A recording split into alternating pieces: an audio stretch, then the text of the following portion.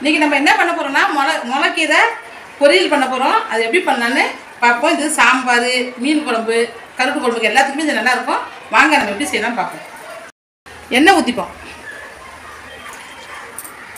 Teaspoon கடுகு போட்டுக்கணும். உளுந்து கடுகு போட்டு உளுந்து ஒரு டீஸ்பூன். நான் குண்டு மிளகா எடுத்துருக்குறேன். காஞ்ச மிளகா அஞ்சு. பொடிக்கிட்டு நல்லா பொடிஞ்சதும் நம்ம ஒரு பல்லாரி பெரிய பல்லாரி ஒன்று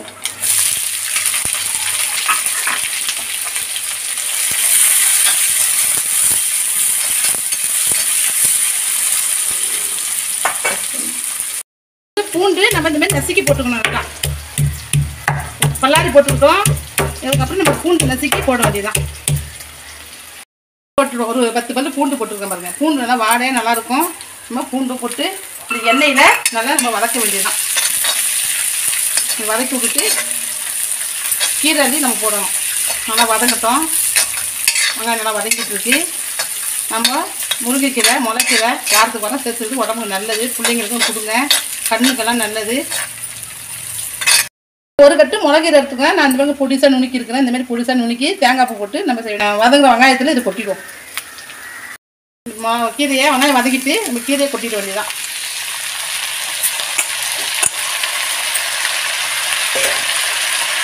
கீரை கிண்டி விட்டுக்கிட்டு தண்ணியெல்லாம் ஊற்றணும் அதே தண்ணி இருக்கும். நம்ம தண்ணி ஊற்ற வேண்டாம்.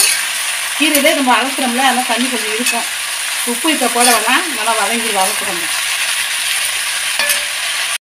உப்பு போட்டுப்போம். இது கீரைக்கு தக்க உப்பு. சால்ட்டு தான் நான் போடுறேன். போட்டு நம்ம நல்லா கிண்டி பெரட்டி கிண்டி விடுவோம். நல்லா வதங்கட்டும். நீங்கள் தண்ணியெல்லாம் தெளிக்க வேணாம். தண்ணி தான் அதில் விடுவோம். நம்ம தண்ணி ஊற்றக்கூடாது நல்லா இந்த இது வந்து ரசத்துக்கு எல்லாத்துக்குமே நல்லாயிருக்கும். எந்த குழம்புக்கும் வச்சு சாப்பிட்லாம்.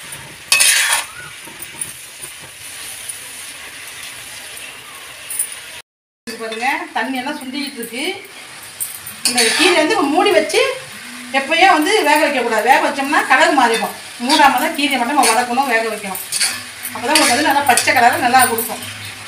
நம்ம தேங்காய் பூ போட்டு இறக்கிட வேண்டியதுதான். கீரை நல்லா வதங்கிட்டு இருக்கு நம்ம இந்த இதில் வந்து நம்ம தேங்காய் போட்டு இறக்கிட வேண்டியதான் எப்படி இருக்குன்னு கலராக நல்லா இருக்கு பாருங்க.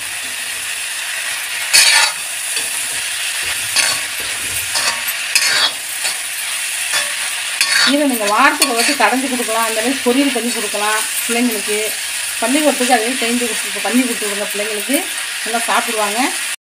நம்ம வந்து இப்போ தேங்காய் ஒரு காமுடி திருவி வச்சுருவேன் அந்த தேங்காய் திருவில் நம்ம போட்டுக்கோம் காமுடி தேங்காய் போட்டால் போதும். ரொம்ப தேங்காய் போட வேணாம். நம்ம வந்து கொஞ்சம் தேங்காய் போதும். உங்களுக்கு தேவைன்னா இன்னும் கொஞ்சம் போட்டுக்கோம் அடுப்பை பாத்திர வேண்டியதான் கீரை ரெடி ஆகிட்டு முளைக்கிற பொரியல் இப்போ ரெடி ஆகிட்டு நம்ம சாப்பிட வேண்டியதுதான். தேங்காய்லாம் போட்டு நல்லா போட்டுங்க கலர்ஃபுல்லாக நல்லா இருக்குங்க பாருங்க. தேங்காய் போட்டு நம்ம ரொம்ப நேரம் கிண்டக்கூடாது. இந்த சூட்டில் தேங்காய் சே வந்துடும் சரியா?